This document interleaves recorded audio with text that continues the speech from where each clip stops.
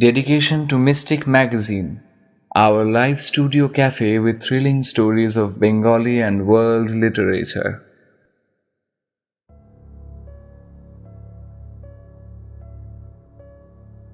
গল্পে উল্লেখিত সকল চরিত্র ঘটনা ও স্থান সম্পূর্ণ কল্পনাপ্রসূত বাস্তবের সাথে এই ঘটনার কোনো মিল নেই যদি কোনো মিল থেকে থাকে তাহলে তা সম্পূর্ণ কাকতালীয় ও অনিচ্ছাকৃত।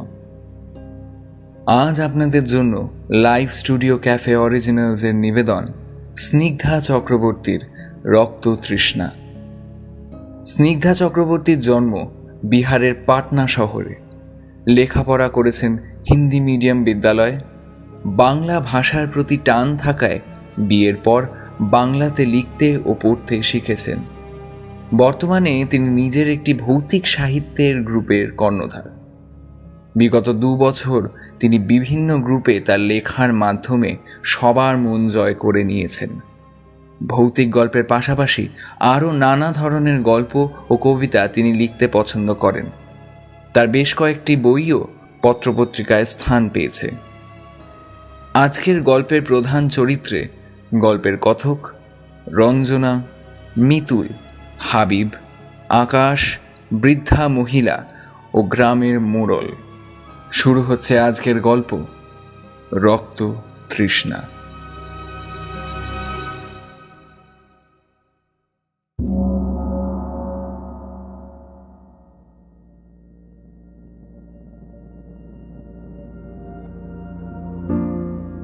কাল প্রীতমের পঁচিশতম জন্মদিন। রঞ্জনা, হাবিব, মিতুল আর আকাশ, এরা প্রীতমের সেই ছোটবেলাকার বন্ধু। তাই ওর এই বার্থডে পার্টিতে তাদের যেতেই হবে। অনেকদিন আগেই প্রীতম ওদের বলে রেখেছিল, তাই কোনো রকম বাহানা সে শুনবে না। আজ শনিবার। তাড়াতাড়ি অফিস ছুটি হয়ে গিয়েছে। সবাই ব্যাগ প্যাক করে নিয়েই অফিসে এসেছিল। আকাশের গাড়িতে করেই ওরা সবাই যাবে প্রীতমের বাড়িতে। ইউনিভার্সিটি থেকে পাশ করে বেরোনোর পর একমাত্র প্রীতমই ওদের থেকে আলাদা হয়ে গিয়েছে। নিজের বাবার ব্যবসায় যুক্ত হতে হয়েছে ওকে। প্রীতমের বাবা, মা দুজনেই মারা যাওয়ার পর প্রীতমের এক পিসি ওর সাথে ঝাড়গ্রামে ওর পৈতৃক বাড়িতে থাকে। পঁচিশতম জন্মদিনটা বেশ ধুমধাম করে পালন করার ইচ্ছে প্রীতমের। তাই ওর ছোটবেলাকার এই চারজন বন্ধুকে নিমন্ত্রণ করেছে সে। আগামীকাল রবিবার, তাই কারোর অফিস কামায়ও হবে না। দুপুরে তিনটের মধ্যে ওরা চার বন্ধু নন্দনের সামনে মিট করল। তারপর ওখান থেকে চারজন একসাথে রওনা হলো ঝাড়গ্রামের উদ্দেশ্যে।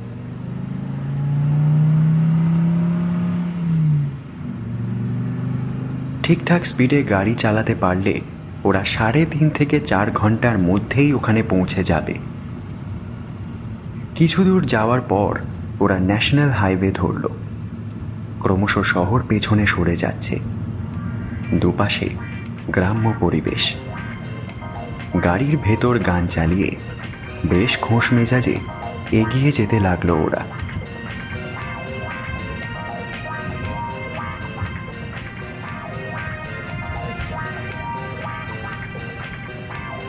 এবারে বেশ অনেক দিন বাদে ওদের দেখা হবে প্রীতমের সঙ্গে। বন্ধুর জন্য একটা দামি গিফটও কিনেছে ওরা। সেপ্টেম্বর মাস চলছে। এখনও বৃষ্টি কিন্তু বেশ ভালোই হচ্ছে। যখন ওরা বেরিয়েছিল, তখন বেশ রোদ ছিল, কিন্তু ওরা যত সামনে এগোচ্ছে, দেখছে আকাশ ঘন কালো মেঘে ছেঁয়ে যাচ্ছে।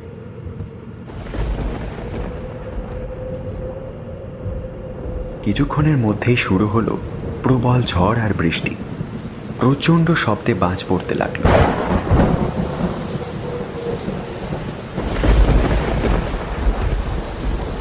আকাশ বলল, একটা সাইড নিয়ে দাঁড়িয়ে যাই। বৃষ্টির জোরটা কম হোক, তারপর আবার ড্রাইভ করব, বুঝলি?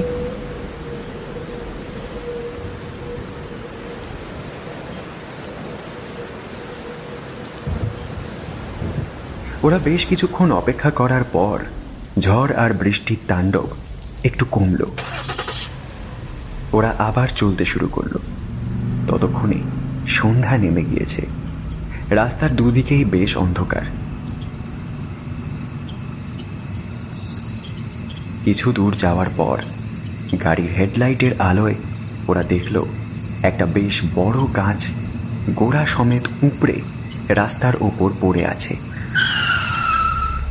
গাড়ি থামিয়ে স্টিয়ারিংয়ের ওপর একটা ঘুষি মেরে আকাশ বলল আরে শিট ইয়ার এই হাইওয়ের ওপর এখন গাছ উপড়ে পড়ে আছে। গাড়ি নিয়ে এবার এগোবোটা কি করে বলতো?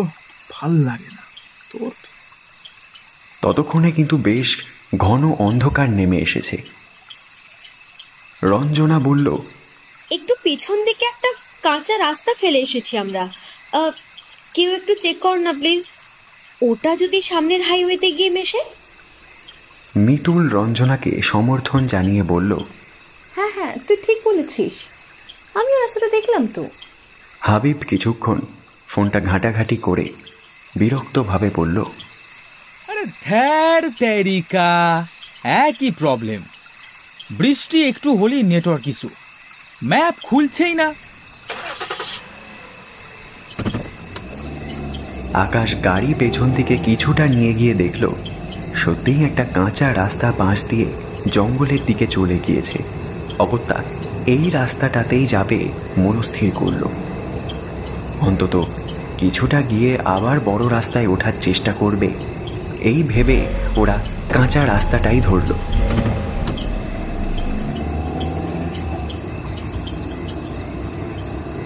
কারোর ফোনেই নেটওয়ার্ক নেই কাজেই প্রীতমকে ফোন করেও কিছু জানাতে পারছে না ওরা। জঙ্গল ক্রমশ গভীর হতে লাগল। আকাশ বলল আরে আর কিছুতেই হাইওয়েতে উঠতে পারছি না কানেক্টারটা খুঁজেই পাচ্ছি না। যা খুটখুটে অন্ধকার। এখানে কোনো মানুষজন পাবো বলেও তো মনে হয় না। যাকে জিজ্ঞেস করব? তো হাবিব বলল আকাশ আকাশ দাঁড়া আর একুশ না। আমরা বরং নেমে পায়ে হেঁটে এগিয়ে গিয়ে দেখি রাস্তাটা খুঁজে পাই কি না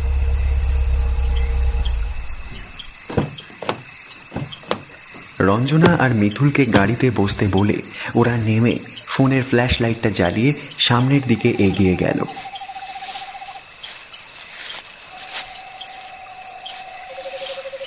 বেশ কিছুটা এগিয়েও কোনো রাস্তার দেখা পেল না ওরা। অগত্যা ওরা আবার গাড়ির দিকেই ফিরে আসতে লাগল। হঠাৎ আকাশ দেখতে পেল একজন বয়স্ক মহিলা হাতে একটা লণ্ঠন নিয়ে লাঠিতে ভর করে টুকটুক করে হেঁটে যাচ্ছে। ওরা দৌড়ে ওনার কাছে গিয়ে জিজ্ঞাসা করল আরে হ্যালো হ্যাঁ, বলছি ইয়ে ঠাকুমা বড় রাস্তাটা কোন দিকে গেলে পাবো একটু বলতে পারবেন? বয়স্ক মহিলা দাঁড়ালেন। উনি ওদের দিকে তাকিয়ে কাঁপা কাঁপা স্বরে বললেন, তোমরা এই ঘন জঙ্গলে এলে কি করে? আর এই ঝড় বাদলের রাতে রাস্তা খুঁজবে কি করে? তাছাড়া আমি বহু বছর ধরে জঙ্গলের মধ্যে থাকি, বাইরের জগতের সাথে আমার কোনো যোগাযোগ নেই। তাই তোমাদেরকে কোনো সাহায্য আমি এই ব্যাপারে করতে পারব না। ওরা ভেবে পেল না বুড়িমাকে কি বলবে। তবুও হাবিব বলল আর ঠাকুমা আমরা তাহলে এই জঙ্গল থেকে বেরুবো কি করে? উনি বললেন রাতটা কোনো মতে কাটিয়ে দিলে সকালে ঠিক রাস্তা খুঁজে পেয়ে যাবে। টুকটুক করে লাঠি ভর দিয়ে হাঁটতে শুরু করলেন বৃদ্ধা। ওরা কুঁকিয়ে উঠল। আমাদের আজকে রাতটা কাটাবার মতো কি জায়গা কোনো পাওয়া যাবে এখানে? আবার দাঁড়ালেন উনি। একটু হেসে বললেন আমার সাথে কি আমার বাড়িতে যাবে তোমরা? কাছে ছোট্ট একটা কুড়ে ঘরে আমি আর আমার ছোট বোন থাকি। একটু ভেবে ওরা যেতে রাজি হলো। এই জঙ্গলে পড়ে থাকার চেয়ে বুড়িমার সাথে যাওয়াই বরং ভালো। ওরা গাড়ি লক করে বুড়িমার সাথে রওনা দিল ওনার বাড়ির দিকে। উনি ওদের সাথে গল্প করতে করতে হাঁটতে লাগলেন। বেশ অনেকটা পথ হাঁটার পর বুড়িমার ভাঙা ঘর দেখা গেল। ভেতরে টিম টিম করে লণ্ঠনের আলো জ্বলছে। এগিয়ে গিয়ে উনি বললেন দেখ, আমার সাথে চারজন অতিথি এসেছে। ওরা দেখল, অত্যন্ত অসুস্থ একজন কঙ্কাল সার মহিলা। একটা চৌকির ওপর তেল চিটচিটে বিছানায় শুয়ে আছে। ঘরের মধ্যে কি বিশ্রী বোটকা, একটা গন্ধ। ওদের গা গুলিয়ে উঠল। ওরা বাইরের দাওয়ায় বেরিয়ে এলো। আকাশ বলল, আমরা এই বারান্দায় বসেই রাতটা কাটিয়ে দেব। আপনি গিয়ে শুয়ে পড়ুন। ওদের কথা শুনে বৃদ্ধা খুব লজ্জায় পড়ে গিয়ে বললেন, আমি বুঝেছি বাবারা। তোমরা মিনুকে দেখে খুব ভয় পেয়ে গেছো। আসলে কি বলতো, জন্ম থেকে ওর একটা রোগ আছে। ওর রক্তের দরকার হয় মাঝে মাঝে। মাঝে মাঝেই ওকে রক্ত দিতে হয়। একবার সঠিক পরিমাণে রক্ত দেওয়া হলে টানা ছয় মাসও সুস্থ থাকে। এখনও খুবই অসুস্থ। রক্ত জোগাড় করতে না পারলে ওকে বাঁচানো যাবে না। আমি রক্তের জন্য ওকে বাড়ি থেকে তাড়িয়ে দিয়েছে। আমি ওর দিদি। আমি তো আর ফেলে দিতে পারি না। তাই ওকে আমি আমার কাছে নিয়ে এসে এই জঙ্গলে লুকিয়ে থাকি। যখন রক্তের দরকার হয়, তখন শহরে গিয়ে আমি ওর রক্তের ব্যবস্থা করি। ওই রক্ত পেয়েই ওর জীবনটা বাঁচে। ওরা চারজন চুপ করে বসে এই গল্প শুনল। সবই ঠিক আছে, তবুও ওদের কেমন যেন একটা অস্বস্তি হতে থাকে। সেটা কি এই গন্ধটার জন্যে? নাকি এত রাত্রে অচেনা জঙ্গলে ঘেরা পরিবেশের জন্যে? তা ওরা ঠিক বুঝতে পারল না।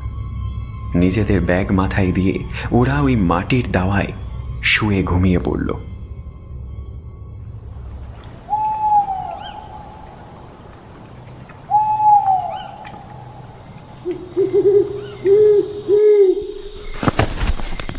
হঠাৎ তীব্র একটা শব্দে ঘুম ভেঙে গেল মিতুল আর রঞ্জনার। ওরা তাকিয়ে কিছুই দেখতে পেল না কারণ চারিদিকে ঘুটঘুটে অন্ধকারে ঢাকা। ফোনগুলো কোথায় গেল? ওরা দুই বন্ধু হাতড়ে হাতড়ে নিজেদের জিনিসপত্র খুঁজতে লাগল। তারপর খুব মৃদু স্বরে অন্য বন্ধুদের নাম ধরে ডাকতে লাগল। আর অন্ধকারের মধ্যেই হাতড়ে খুঁজতে লাগল কিন্তু আকাশ আর হাবিব যেখানে শুয়েছিল, সেই জায়গাটা একদম ফাঁকা। মিতুল আর রঞ্জনা একে অপরকে জড়িয়ে ধরল। নিকশ কালো অন্ধকারে ওরা কিছুই দেখতে পাচ্ছে না। কোনো মতে দুজনে হাত ধরাধরি করে উঠে দাঁড়াল। আকাশ আর হাবিব গেল কোথায়? এবার উচ্চ স্বরে ওদের নাম ধরে ডাকতে ডাকতে ওরা এগিয়ে গেল। হাবিব! আকাশ! হাবিব আকাশ। ভয়ে জড়সড় হয়ে গেছে ওরা। হঠাৎ কিসে যেন ধাক্কা খেয়ে মুখ থুবড়ে পড়ল দুজনেই। হাত দিয়ে ওরা ছুঁয়ে বুঝল ওটা হাবিব কারণ হাবিবের মুখে দাঁড়িয়ে আছে। পাগলের মতো ওকে ঝাঁকিয়ে হাবিব? হাবিব। এই হাবিব এই হাবিব। হাবিব বলে ডাকতে লাগল মেয়ে দুটো। কিন্তু ওর কোনো সাড়া নেই। হাবিবের বুকে কান পেতে ডুঁকড়ে কেঁদে উঠল মিতুল।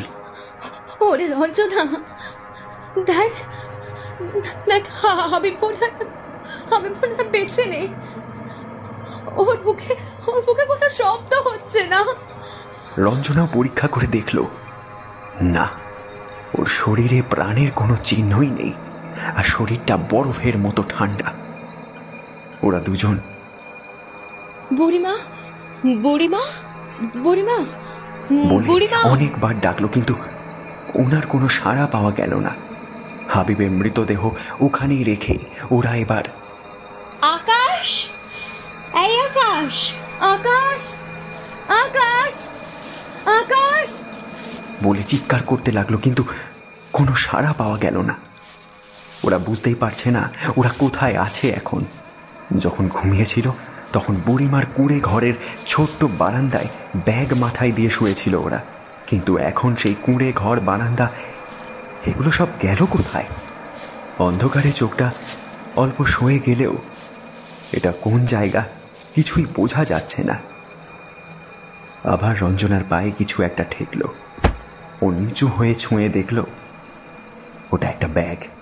ওদেরই কারও ব্যাগ হবে নিশ্চয় ব্যাগের চেন খুলে ভেতরে হাতড়ে একটা পেন্সিল টর্চ পেল সে। সেটা জ্বালিয়েই ওদের চক্ষু জড়ক গাছ হয়ে গেল। এটা তো একটা বহু পুরনো ভাঙা বাড়ি। আর ওরা সেই বাড়ির ভেতরের আগাছা ভর্তি উঠোনে ঘুরে বেড়াচ্ছে। আমরা আমরা এখানে এলাম কি করে রে? আর ওই বুড়িমার কুড়ে ঘরটা? ওটা কোথায় গেল? আকাশ আর হাবিব ওরাই বা আমাদের পাশ থেকে উধাও হলো কি করে বুঝতে পারছি না তো? কিছুই মাথায় ঢুকছে না। যাই হোক হাকিব তো আর বেঁচে নেই কিন্তু আকাশকে খুঁজে বের করতেই হবে। এই কথা বলে ওই টর্চের আলো ফেলে ওরা। আকাশ! আকাশ! আকাশ! আকাশ! বলে চিৎকার করতে লাগল। কিন্তু আকাশ যেন উবে গেছে। ভালো করে টর্চের আলো ফেলে মিতুল দেখল, এটা আকাশেরই ব্যাগ। এই ব্যাগেই গাড়ির চাবি আর আকাশের মোবাইলটাও আছে। কিন্তু মোবাইলে কোনো নেটওয়ার্ক নেই। টর্চের আলোয় দেখে যা বোঝা যাচ্ছে, এটা কোনো বড় প্রাসাদ টাইপের বাড়ি। এখানে অনেকগুলো ঘর আছে, কিন্তু সবকটাই ভাঙাচোরা। দেওয়াল দিয়ে গাছ গচিয়ে গেছে। কি বিশ্রী একটা গন্ধ ছড়িয়ে রয়েছে। কেমন যেন মাংস পচা গন্ধ।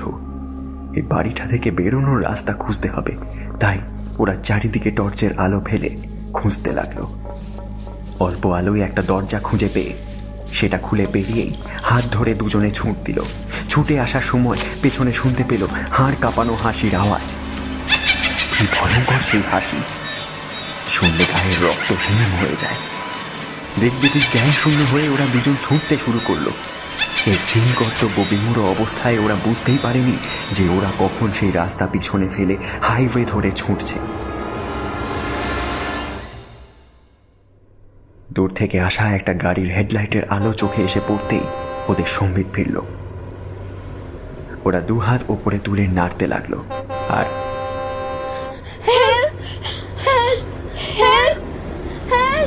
বলে চিৎকার করতে লাগল।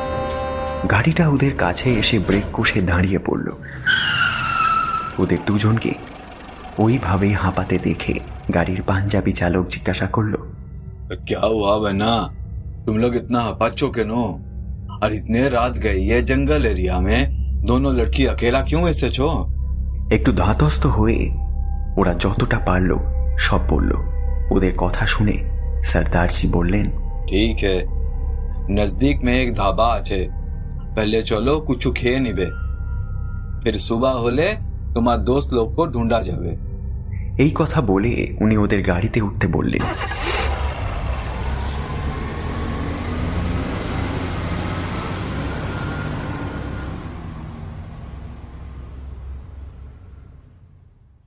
মিনিট দশেকের মধ্যে কাছেই সেই ধাবাতে পৌঁছে গেল গাড়িটা ড্রাইভার নিজে থেকে কিছু গরম খাবারের অর্ডার করলেন ওরা গরম খাবার আর চা খেয়ে একটু ধাতস্থ হলো।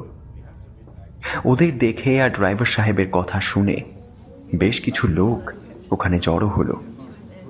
ধাবায় কাজ করে এমন একজন স্থানীয় লোক ওদের ঘটনা শুনে বলল, ওই এলাকাটা?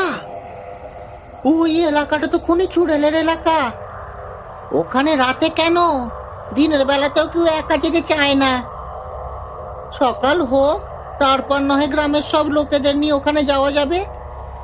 মিতুল কাতর ভাবে অনুরোধ করল। পুলিশকে খবর দিলে খুব ভালো হতো?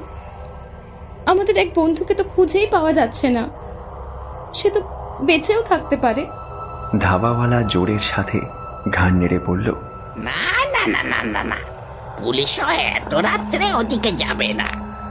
সকাল না হলে কিছু করার নেই। আসলে শুনেছি ওই চোরেলরা নাকি প্রতি ছ মাস অন্তর জাগ্রত হয়। আর সেই সময় ওদের দরকার হয় দুজন জওয়ান পুরুষের রক্ত। মেয়েদের রক্ত তারা খায় না। শুধুমাত্র নবযুবকদের রক্তই তারা খায়। আরও অনেক কিছু আলোচনা করে যাচ্ছিল সবাই, কিন্তু রঞ্জনা আর মৃদুলের কানে কিছুই পৌঁছল না। ওরা আতঙ্কে ভয়ে চিন্তায় কেমন যেন নিশ্চল হয়ে বসে রইল ওখানেই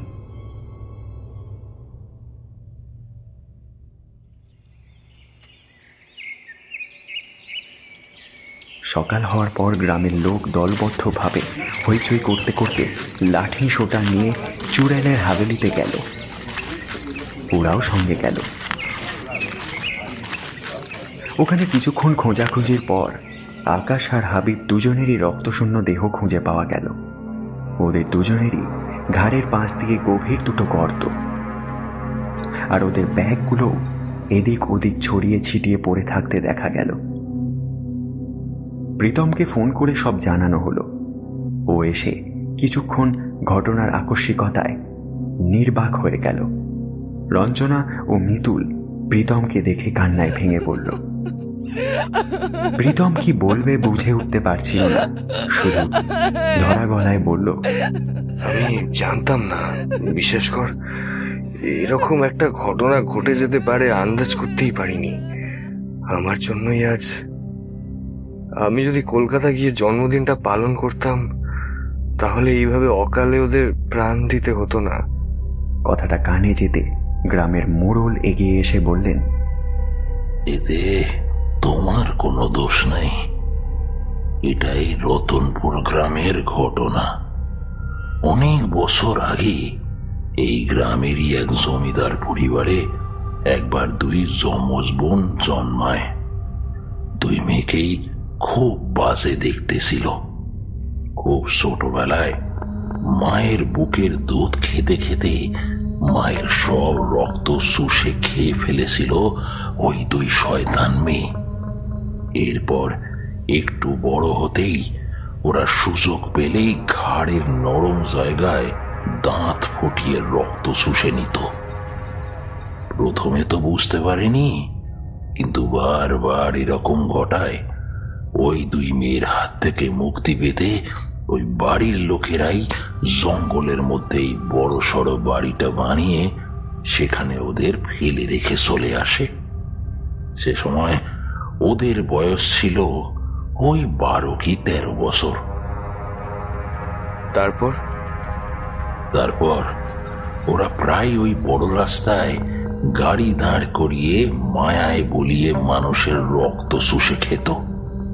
তারপর একদিন গ্রামের লোকেরা ওদের উপর খেপে গিয়ে দুই বোনকে পিটিয়ে আধমরা করে ওদের ওই বাড়িতেই ওদেরকে আগুন ধরিয়ে পুড়িয়ে মেরে ফেলে। তারপর কিছুদিন সব কিছু বেশ ভালোই চলছিল। কিন্তু ঠিক মাস ছয়েক বাদে আবার ওই বড় রাস্তার ধারে দুজন যুবকের ফ্যাকাশে লাশ পাওয়া যায়। সেই থেকেই চলে আসছে এই নিয়ম।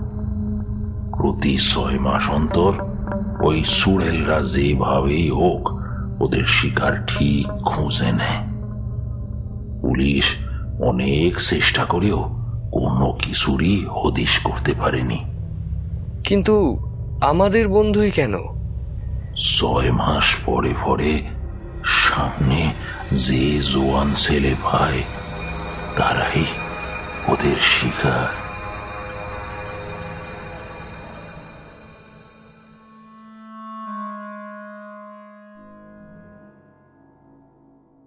শেষ হলো আমাদের আজকের গল্প, স্নিগ্ধা চক্রবর্তীর রক্ত তৃষ্ণা। গল্পের সূত্রাধার আমি, রিভু। গল্প পাঠে সৌমজিৎ প্রীতমের কণ্ঠে পার্থ সারথী। রঞ্জনার কণ্ঠে কাহন। হাবিবের কণ্ঠে জয় দাস মিতুলের কণ্ঠে শতরূপা। আকাশের কণ্ঠে প্রমিত। ট্রাক ড্রাইভারের কণ্ঠে অঞ্জন রায়চৌধুরী।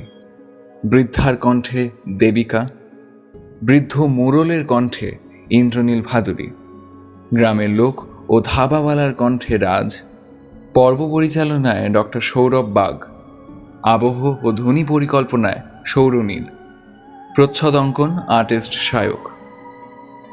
আমাদের আজকের নিবেদন আপনাদের ভালো লাগলে লাইক ও শেয়ার করুন এবং আমাদের এগিয়ে চলতে সাহায্য করুন শুধুমাত্র একটি সাবস্ক্রাইবের মাধ্যমে। ঠিক পরের শনিবার রাত নটায় শুনতে পারবেন আরও একটি রোমাঞ্চকর গল্প। তাই শুনতে থাকুন live studio cafe. Stay tuned and happy listening. Thank you.